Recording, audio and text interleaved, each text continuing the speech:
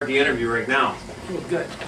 Okay, my name is Matthew Rozell. We're at Hudson Falls High School. Today is January 23rd, 2009. It's the last day of our World War II class. Our seniors will be moving on to better courses in the springtime. And we're lucky, fortunate today because we have a veteran of the Second World War, a uh, Pacific Marine. His name's Herb Altshuler. And I'll ask Herb some questions today. And uh, hopefully he'll tell us his story of World War II. Okay, so Herb, can you tell me uh, what what day were you born? Six, six, twenty-four. 6 6 1924? Yes. Little 20 years, so you're 20 years old on D-Day. Well, I'm related to where I was on Pearl Harbor.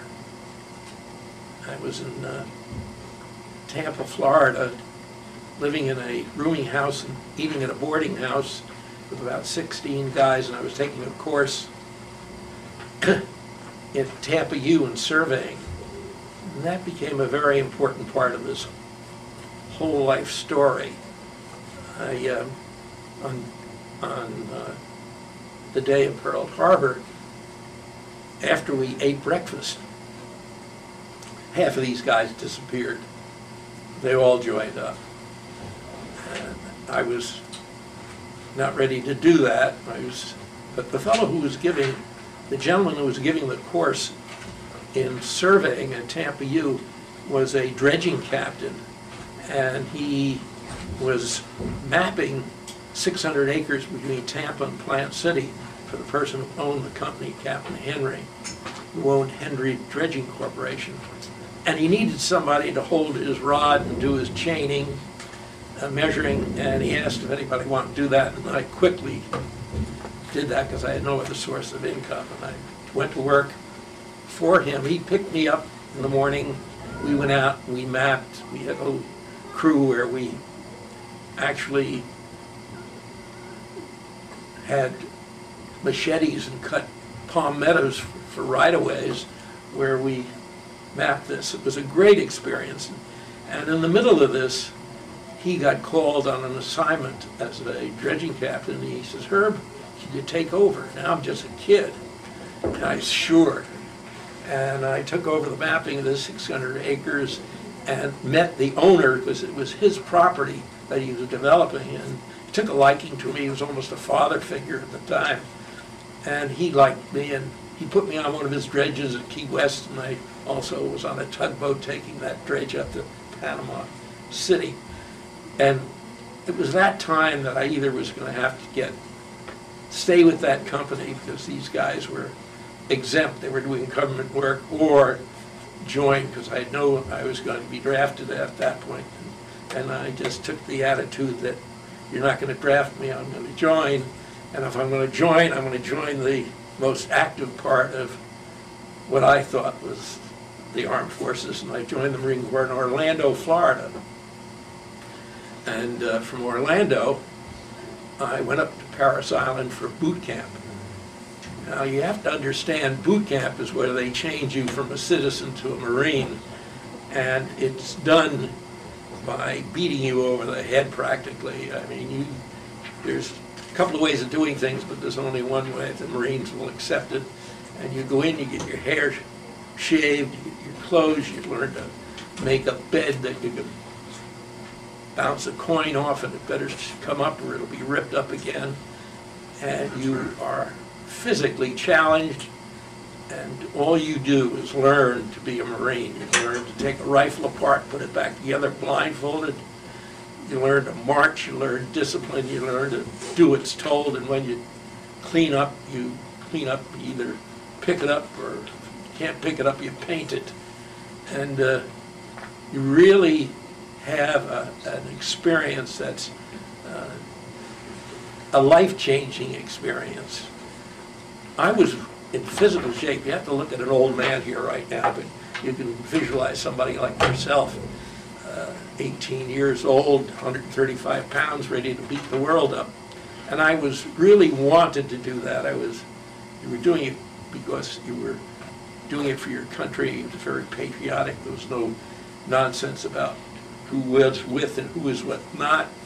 you were there and you did your job. And from, uh, at, at Parris Island, by the way, they, they give you a, when you win, they give you an aptitude test too. Now, here I had this experience, and that's why I mentioned it, of surveying, and, and I uh, took this aptitude test, and the last week you're there, you do K- KP, you do, you do duty of scrubbing down the mess hall, setting it up.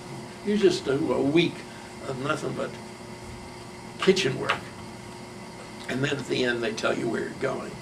And I was very pleased. They sent me up to Camp Lejeune, to the engineering battalion, where I took a course on surveying.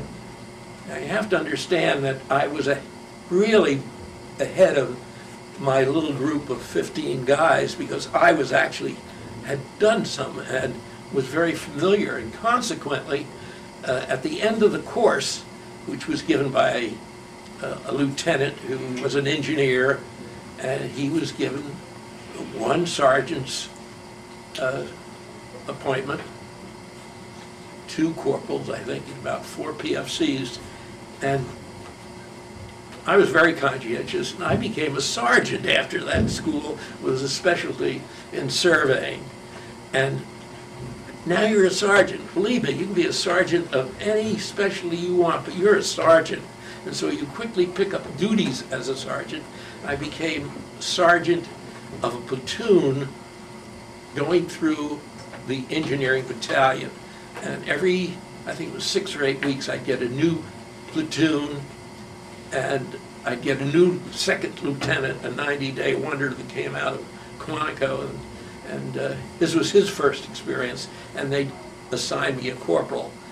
And that was done after every one of these sessions. And these sessions were marching from one specialty to another, demolition, heavy equipment, and all the parts of the engineering battalion had a week of training. So you went through that, and, uh, but the real tricky part of this deal was discipline.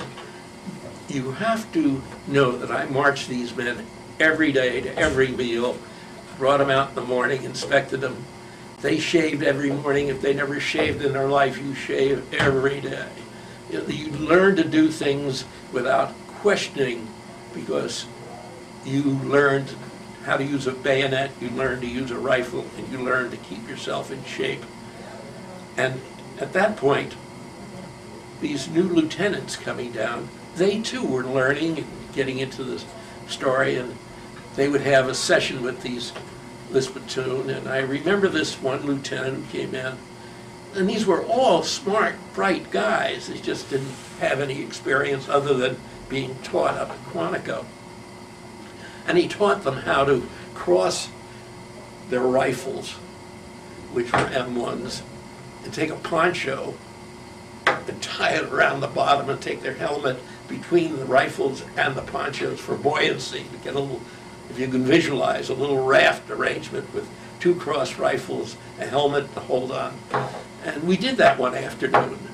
And unbeknownst to anybody, he broke that platoon out and we went for a march down to the river. Get to the river, we're gonna cross this river with this lesson that this lieutenant had learned. And it was scary to me. I didn't know who could swim, who couldn't swim. And, and I remember telling these men that any of them couldn't go over that bridge and walk over. And a couple of them did. Anyway, the lieutenant went in first. And then and they made up their little platoons, pontoons, and we started across. The corporal went to the right flank, and I was bringing up the rear. I never got in the water. Halfway down, one guy yells, help, and the other guy yells, help. Before you know it, we lose a guy, drowned him in, in training. There's an inquiry, He died. died, very much dead. And, and you get, sh- that was the first death I really experienced in service. It really, I remember to this day exactly how it all happened. And there was an inquiry, and I remember these officers saying, now, next time, put a rope up. And I said to myself, you know, it's, it's silly to lose people in training, but you lose them. And then the next platoon I took through, another lieutenant, but they all had to go through these sort of things. The last week of the training course, you have to understand, we went to each one of these heavy, different divisions for four or five of them. This course was six to eight weeks. But the last week, we went out to the beach, bivouacking, and you built a fortification with sandbags and barbed wire. And then you took that platoon out, you brought it in, and attacked it and blew it up. That was the graduation.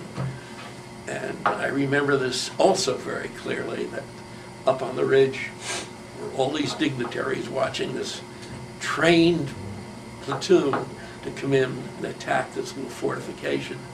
Well, one of the things you do is you take a demolition pack, which is nothing a little knapsack with uh, explosives in it, and you build, you, you make yourself uh, with one of the square, I don't even know what the hell that was. It wasn't of TNT, I don't know. But you put a starter and a, a cap in there, and then you have an actual fuse, and then you have a lighter. The lighter is nothing more than something you pull, it makes a spark, it hits the uh, fuse, and the fuse goes down, burns, and sets the cap off. And every one of those had to be inspected by a lieutenant before, an officer, before you could actually go through a, a, uh, training experience. Well, we did all of that, and then we attacked, and you go through as a fighting platoon with uh, BARs on the outside, get these guys and blow up the barbed wire. And the culmination, of course, is you fire until you get to the thing, and, and the guy with the pack goes up, puts it on, and pulls it. Now, when you, you do that, you make sure that the fuse is a U shape, so if the spark goes out, it doesn't hit the cap. Well, we missed that procedure. Lieutenant didn't really look, he didn't have it tied, and we blew this guy up. And I can remember that, just going up, we put him, sent him home in a bag, and that was another shocking thing that I visualized all the time. Anyway, that, that is some of the things that are done in training that you don't hear of. They're not heroes, but it's part of the hell of, of becoming what you had to become. Well, from there, from Camp Lejeune, I joined the 4th Marine Division on Maui, went out to California, got onto a uh, boat in San Francisco. Uh, In the harbor there, we waited till we had a bunch of, of boats together, and then we went out to Maui. Now, again, as a sergeant, who was really a surveying sergeant, you had a platoon again, you sat there and you actually read the letters of anybody who wanted to mail anything for censorship. Why I was any better than anybody else, but there I was, reading everybody's sad stories. And you were stacked up in this boat. You also sat, sergeant of guard duty uh, on the ship. And in Maui, I was assigned a platoon of reserves. Uh, I wasn't doing anything that I was trained at that school for, but being a sergeant, I was a drill instructor, and I really had a good platoon. I had men there that I admired, uh, and I was taking all the material given to me, and I was a pretty good, I could, I could handle my job with great confidence, and I enjoyed what I was doing at that time, because un- until you have to get into the blood and stuff, it's, it's a big Boy Scout, it's a big, big fun thing almost for you. It's not, the tragic part's when you see people die. Anyway, we shipped out of camp, uh, out of Maui for Iwo. And uh,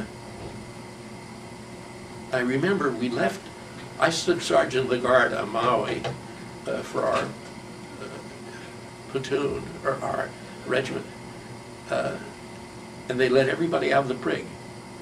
It was Christmas, And if you weren't in there for some horrendous thing, you were left free. And so that Christmas and New Year's, these guys had a hell of a time.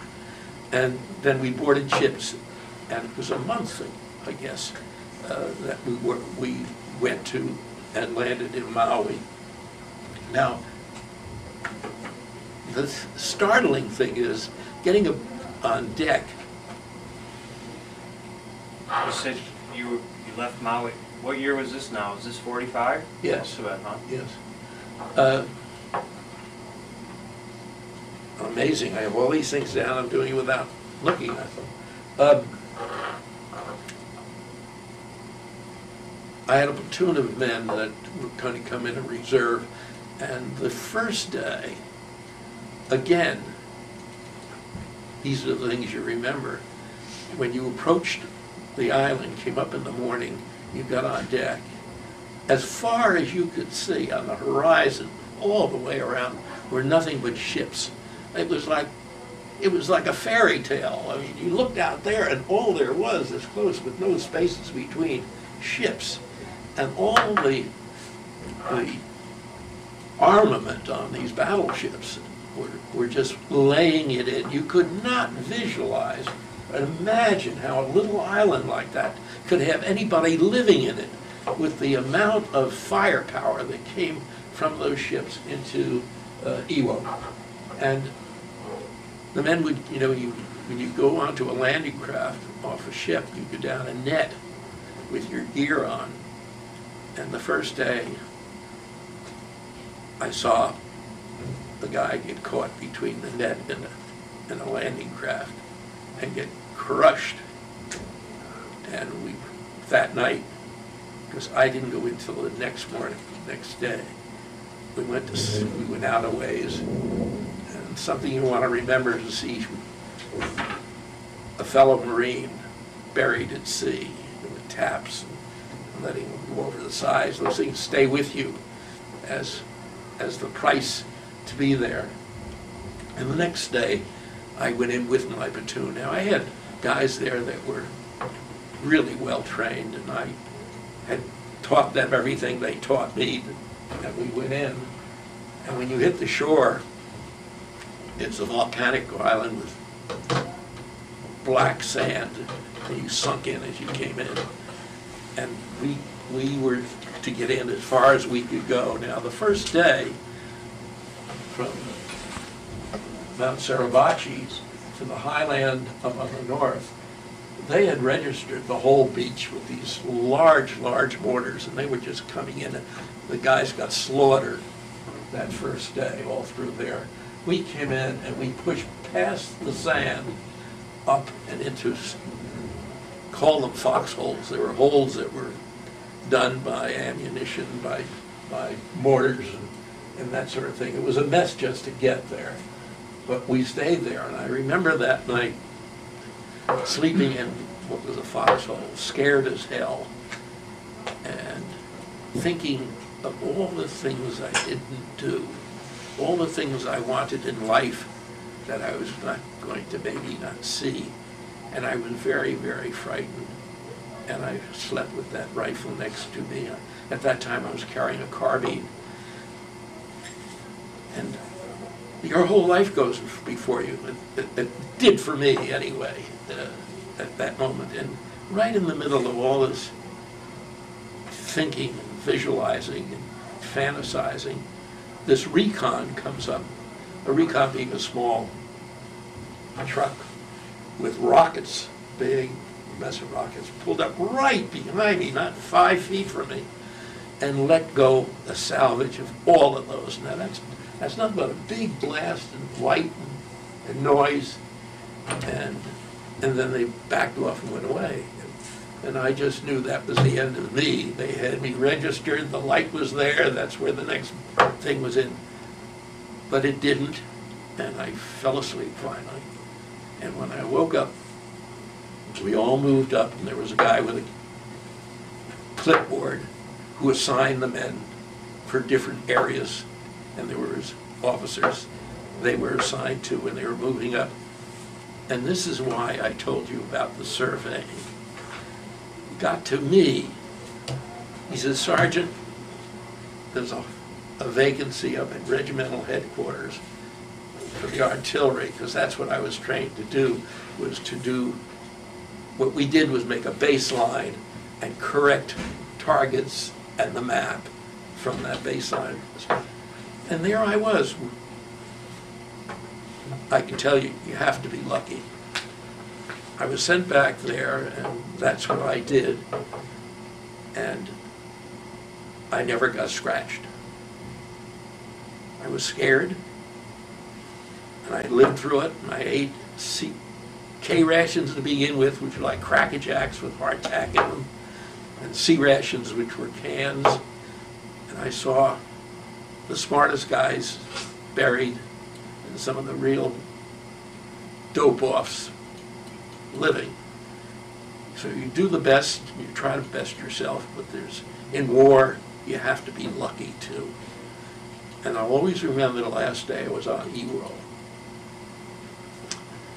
I sat up, up, up on a high piece of land, looked down at the ceremony at the cemetery where heavy equipment had just plowed the field, laid these guys out, surveyed them out. There was a flagpole. They buried the dogs, these, these lovely, lovely animals around the flagpole. They were taking messages back from the forward observers back, as well as Navajos that we had that, that talked back. And that was something to see. We lost, I think, I took down the number of that we lost on Iwo. I wanted to keep that number. It was 6,800 dead on this little island. Uh, The Japanese lost about 20,000. Now, you imagine a little island here with 26, 26,000 people, 27,000 people giving up their lives. Think of nobody who could- went back and, and was loused up about it. But anyway, I went back ashore, and the thing, back back on ship. And let me tell you, to take a hot shower and have a hot meal and smell fresh bread, you think that uh, the world has come, come back to you. And from there, we went, I went back to Maui. The Fourth Marine Division was sent home, but I didn't have enough uh, time in to be able to go back with the Fourth, because that was the only thing I had ever done. And they sent me to China. I went to Okinawa, and then from Okinawa to China, and I was at Tsingtao, China, uh, cold as hell, on the Yellow Sea. And uh, we were, we were surveying the run, runways at the airfield in Tsingtao, China. Well, I had a marvelous experience at Tsingtao, China. Uh, One of the funny things, as we came into harbor off that ship, here I saw all these little people coming out to welcome us in these boats. And I said, isn't that fantastic? All these little boats coming out to greet us. And as we got approached, these guys were doing nothing but following the ships, picking up the garbage. These people were really bad, bad, bad shape.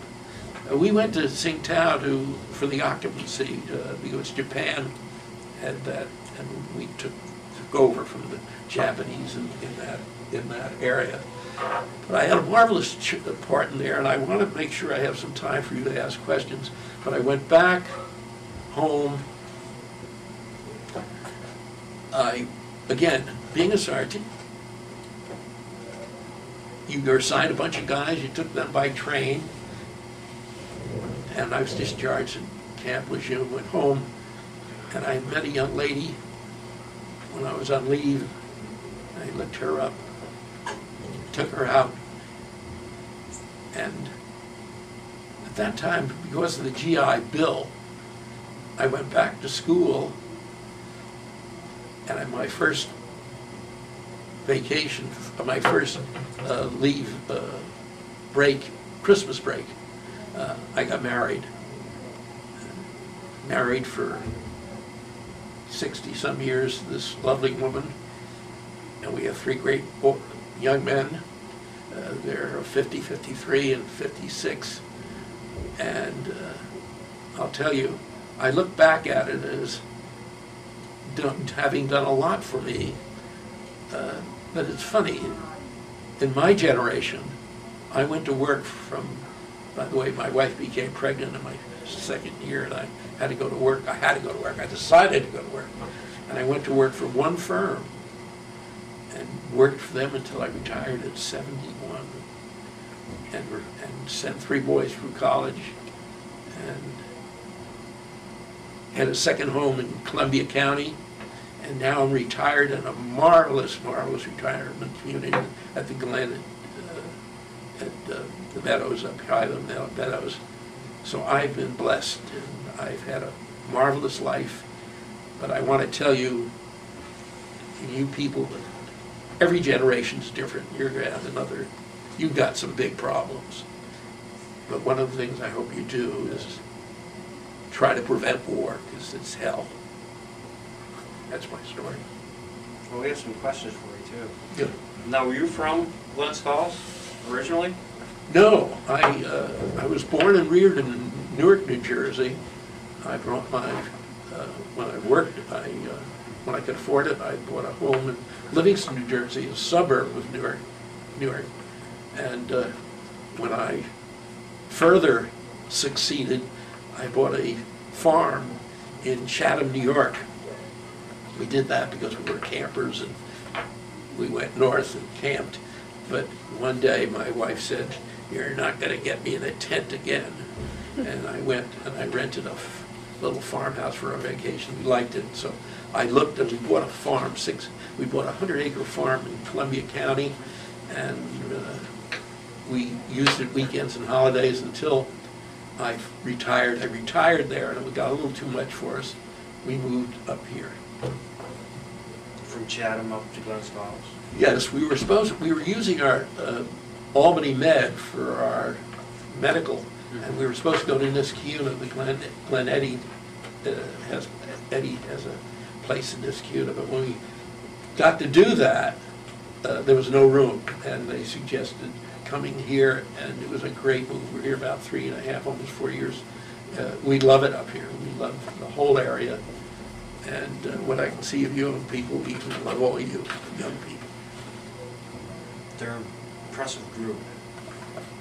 They uh, were eager to come over and talk to you. So, do we have some questions for our Pacific Marine? Andrea? Um, after you like got discharged and stuff, what did you? I can hear you. After you were not in the military anymore, what was your job? Like, Okay. what did you go on for your further profession?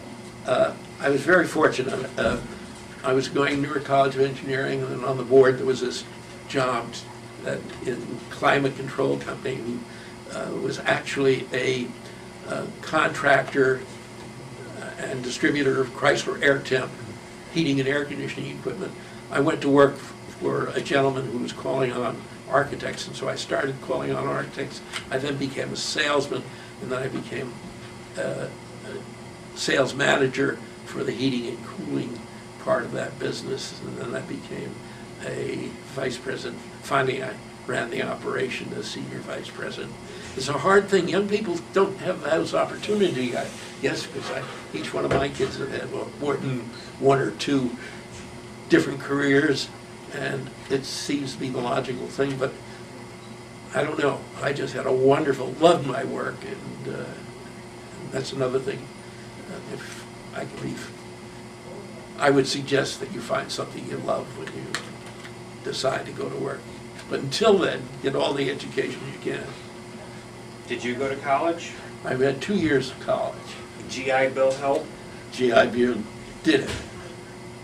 In So fact, what was the GI Bill, just to explain? it, the, when we got out of service, there were lots of things available to us as veterans, and one, of course, was the GI Bill of rights that pr- paid our tuition uh, while we went to school.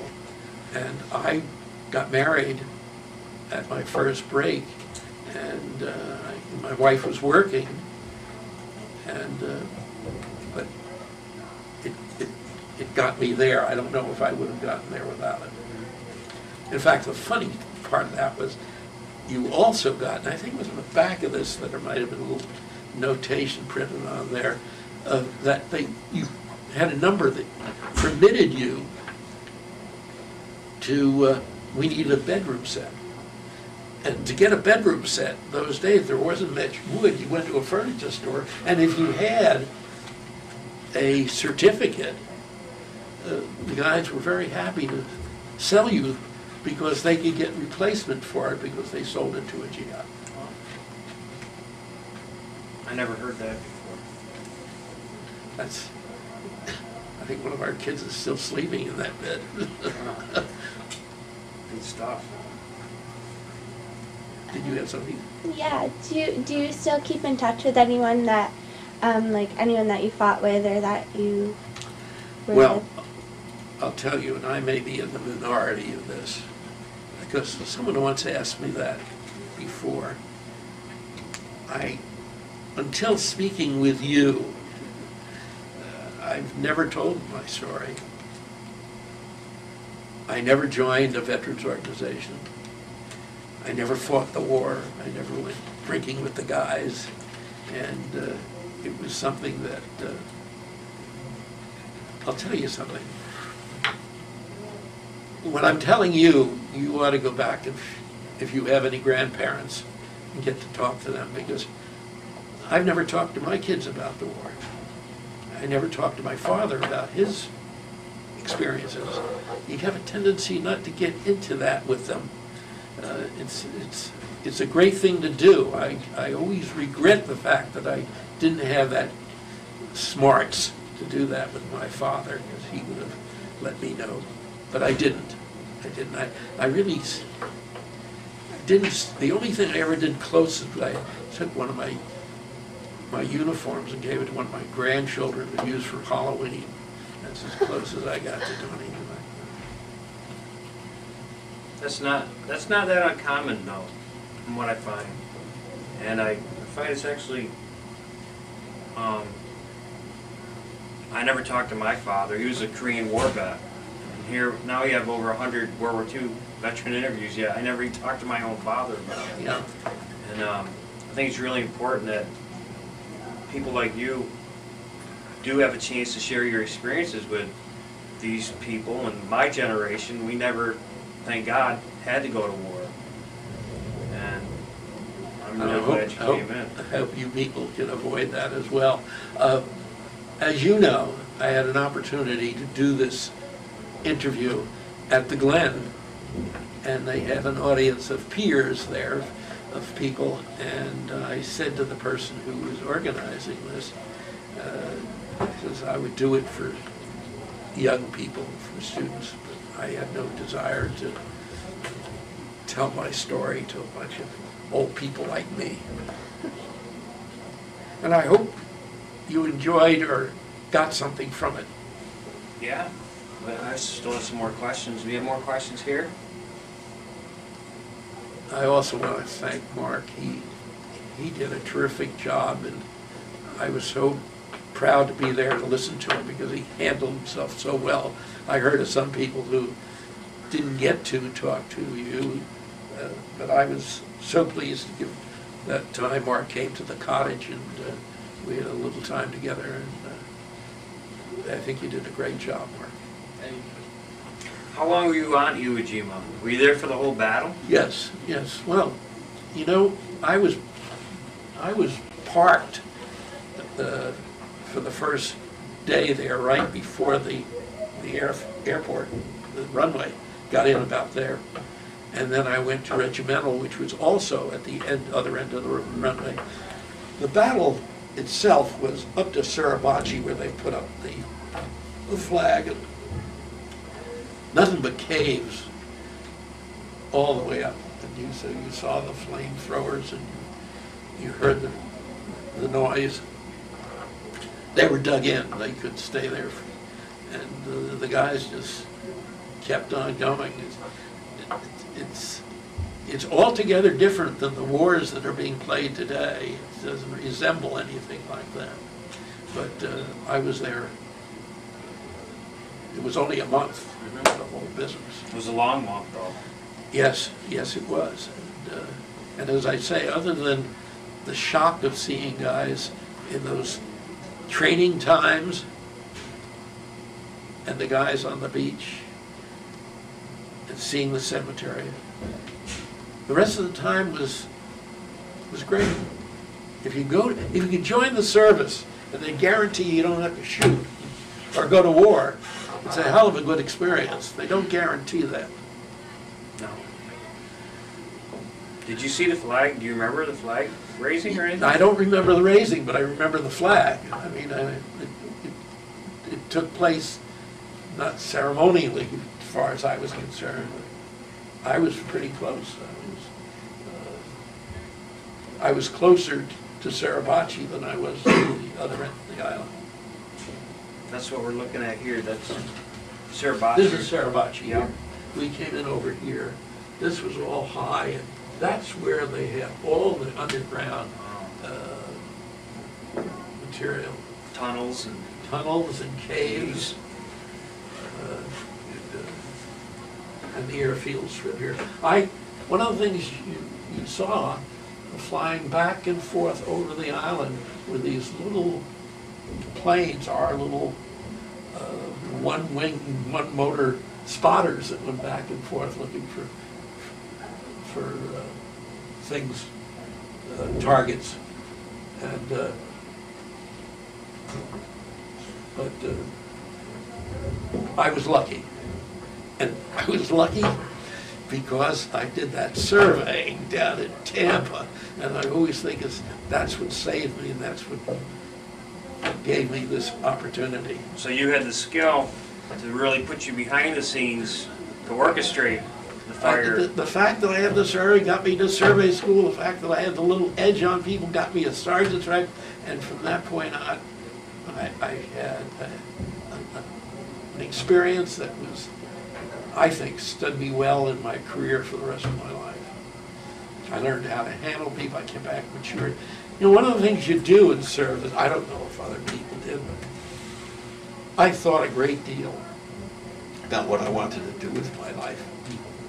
I wanted to, I started to evaluate what was real and what wasn't real, what was, what, what was worth doing, and I came home knowing that I wanted to be part of a community, I wanted to be part of a family, I, I just thought those were the worthwhile things in life. And that's why I guess I married when I did quite early, after I got back. Uh, I, I was careful to, to know I found somebody that was a good kisser, and a great warm person, and a, and a person who had my values. And uh, we were very fortunate. We raised three great kids. And I'm proud of where I've been. And I'm just thankful and so happy that I'm, I'm really lucky because I'm living a lifestyle, a- in a worthwhile type of life where I go to concerts, go to Hyde, go down to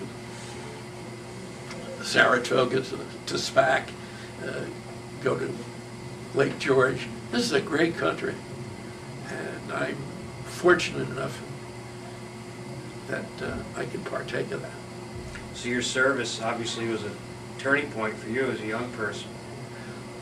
It was certainly, it certainly marks who I am.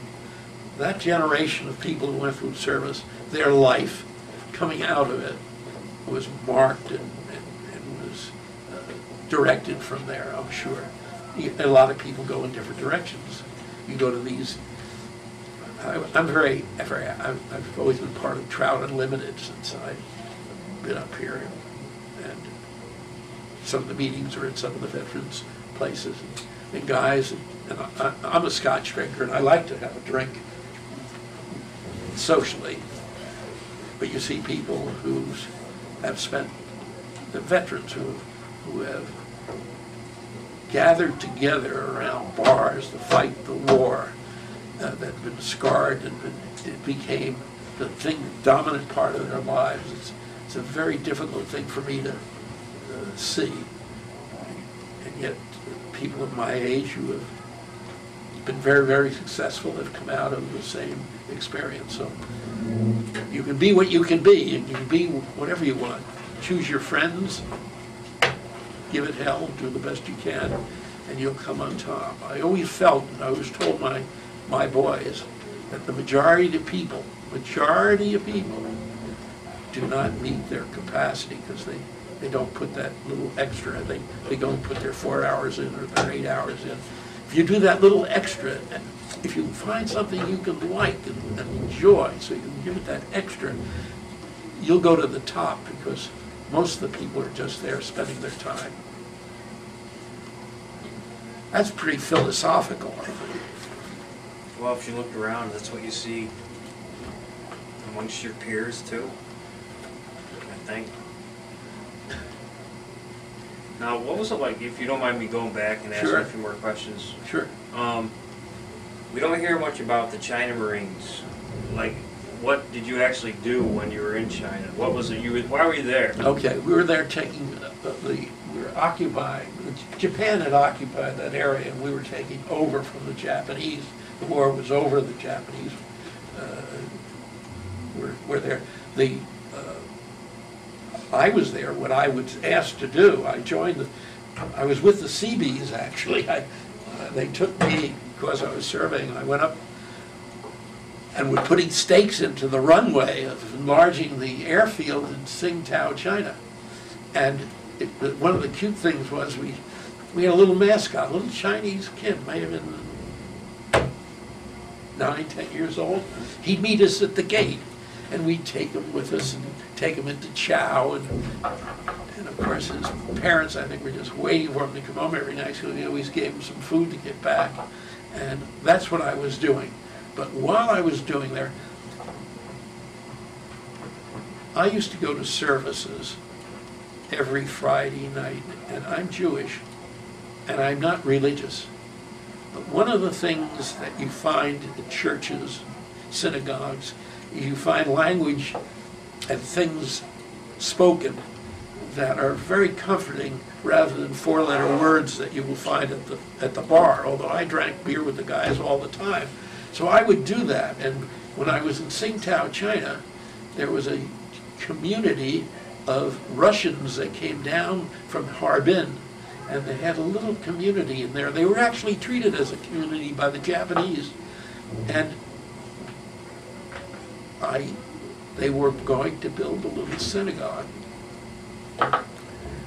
And I built, in the, in the Orthodox religion, they build a little platform and they separate the women from the men and they have an ark. Well, being I was in the Seabees, I had access to these guys.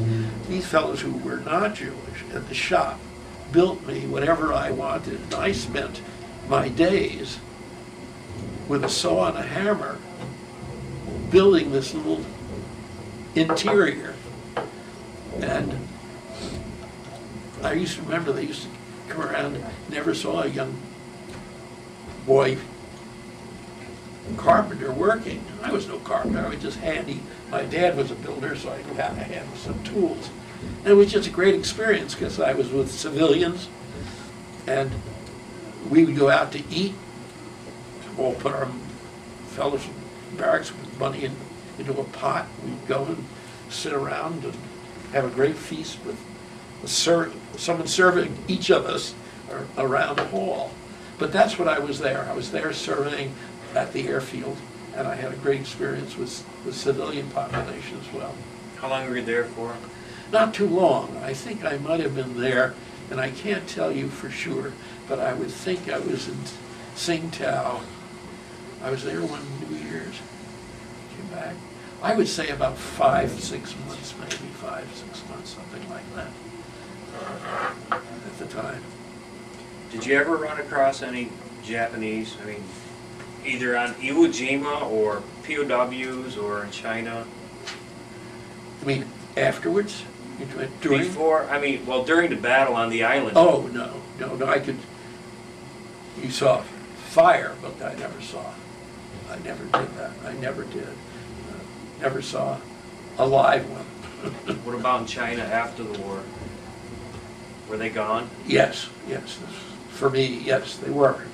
In fact, I don't even remember any fighting at all not at all. It was patrolling, uh, that sort of thing. One of the things I remember very clearly in Tsingtao is coming out of the mess hall. And There was a, a- corridor that you came out of, of wire, as you went out of the mess hall. And there were these fifty-five gallon cans of soap, rinse water, that you would take your gear, clean it, go down the line. And on each side of you, there were these Chinese young people begging for food that you shouldn't put into the garbage pail. I mean, these people were poor, poor, poor. They, they didn't have enough to eat. What about the communists? Do you see any Well, this- tension these- between the nationalists and the communists? Th- th- This was, these were na- nation- nationalists. They were nationalists, yeah. Yes, yes. This was the Guomindang. Chiang Kai-shek? Right, right, that's who, this, this was being turned. Don't know of anything political. I myself was not aware of any pol, that was furthest from my mind was what was going on politically there. I wanted to, I didn't have any of those uh, involvements at all. Did you make it to Japan at all in your travels? Not in service, but it was funny. Um, I was very successful in this company that I joined. As a salesman, I was a pretty good salesman, became sales manager. They had these incentive programs, and uh, one of them was to Japan. We went to Japan. I went for Japan for two weeks. I went for a week with the company, a week on my own. And I didn't know how I would feel about that, facing people that you knew were enemies. And I'll tell you, I came back with admiration of the culture, the way I was treated, what I saw. It, it was the most marvelous trip I think I had taken with my wife. Um, and we went all the way down, uh, went to Kyoto, we went down to the very end of the islands. We had a marvelous, marvelous trip, and everywhere I went, I was comfortable. And uh, had nothing but admiration. To this day, I love Chinese, Japanese food. Sure. then. Yes, sir. Question, if I may. Um, you know, I, I was wondering, the one thing that stuck out in my mind, the men that surrounded you when you arrived at Iwo Jima, what, um, was really, you know, the, the feeling of the troops? Did they have, um, an idea of how important it would be as far as the battle they were about to fight? Or did you have that kind of respect for the Japanese culture and were, was everybody prepared for the I don't think, I don't meet? think that, you know, you're, you're trained to do what you're to do, and you don't really weigh it upon, I didn't anyway, and I didn't see anything, I wasn't aware of anything, of, of, other than, you, you know, if, if somebody gives you a bayonet, you run a course, and somebody keeps shouting, make it louder, and tells you how to use that bayonet, and, and, and how to scream at that, the- that pole. And, and you, do it over and over, and you're trained to shoot, and you are trained, disciplined to do what you're told to do. Uh, You go in not liking who's out there, and you're, you're, you're ready to, you're, you're just going to get them before they get you, and, uh, and you were doing it very patriotically. We, we, we had a cause, and we were gonna do it, we knew about Pearl Harbor, and we knew about the guys that were coming back. We'd tell you stories too. We had heard stories of, of how other people, so, but you weren't all jazzed up about those feelings. You were jazzed up about going in and doing what you were trained to do. And you were trained, I, you know, I, I- I was, I'll tell you this, they did a hell of a job of training you. I think they, they take a civilian and make, make a little war machine out of you very quickly. And when you hear of things that guys do and you, how could they ever do it? You'd be surprised how you can be trained to do. You can be trained, you can be, you can brain, brainwash pretty good uh, in terms of doing your job, uh, training-wise. I wish all of you never have that experience. just travel, have a healthy, wealthy, and lovely family life.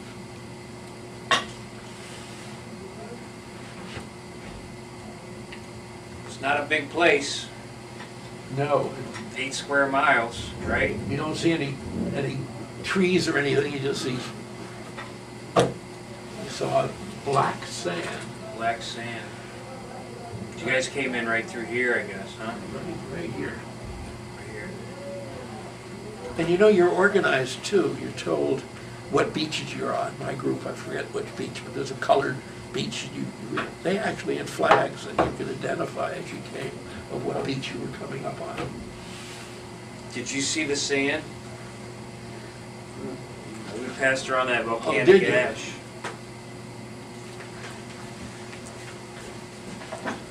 I have a cousin who was in the Marine Corps, and he got to go to Iwo Jima. Yeah, And that's taken from Red Beach too, I think.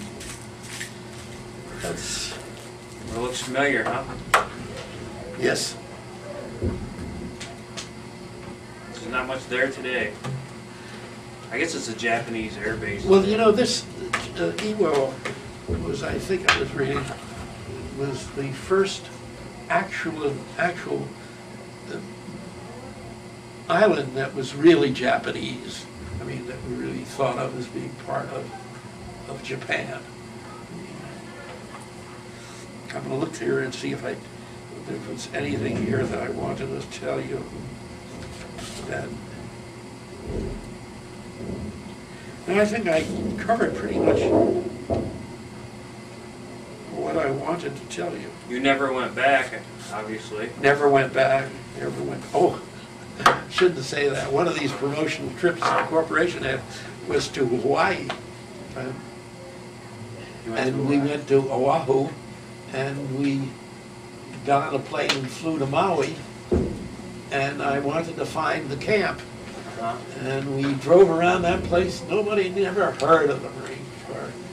I couldn't find anybody, I could never find our camp.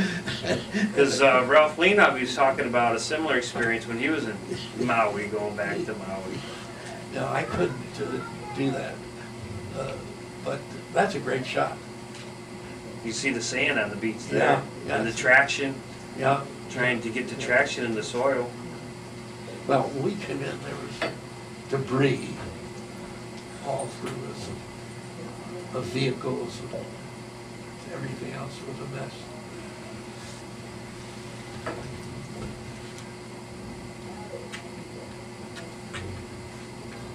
Yes, it was shelled pretty badly, or 74 straight days, I guess. Oh, you, you know, it's unbelievable, unbelievable that, that the amount of, of shells that were flipped in there from, from battleships. Just, you couldn't imagine to be anything living on that island. But they were dug in, in these caves, and they had that whole beach registered.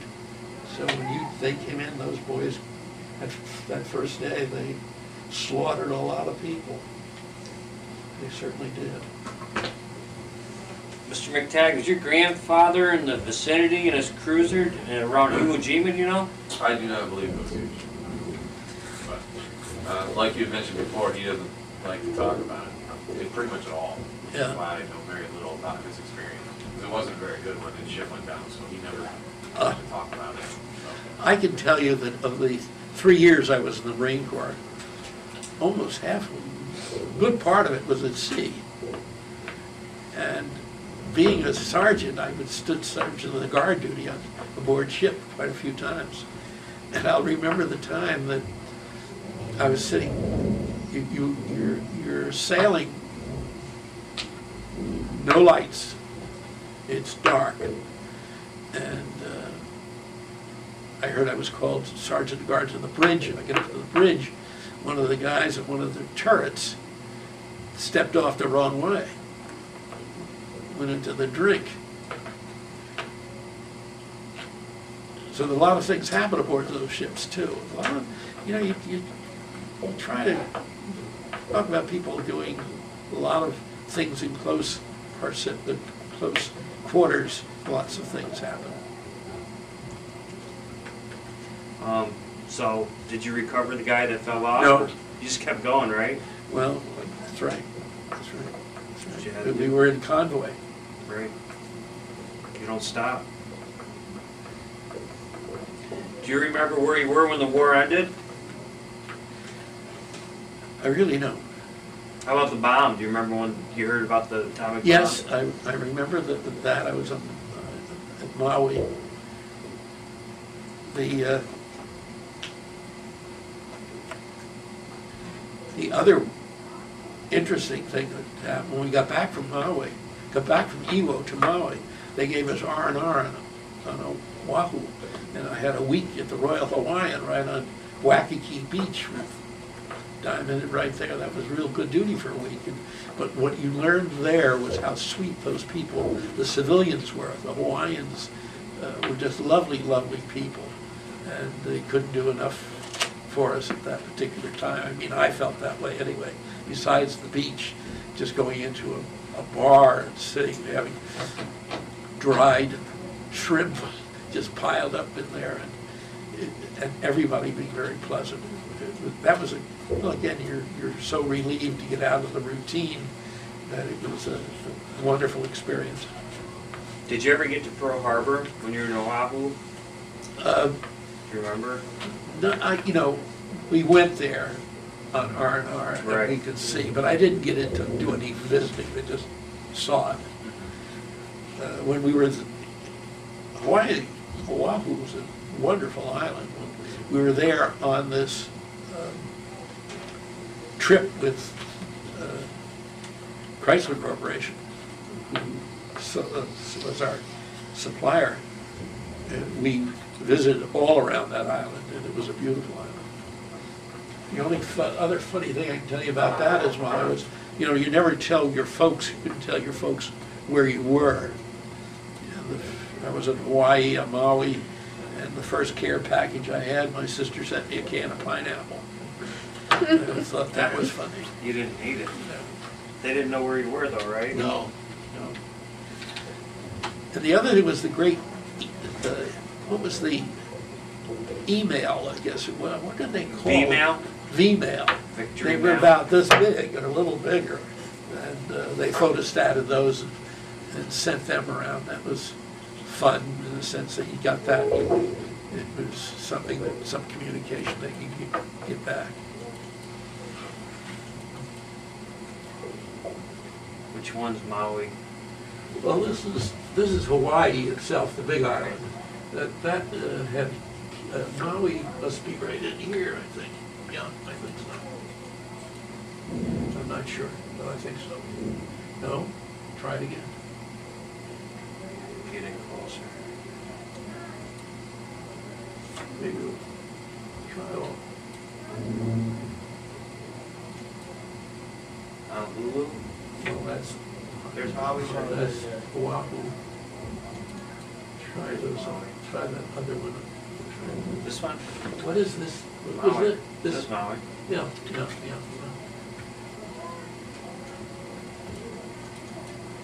The Japanese came in here, and bought up a lot of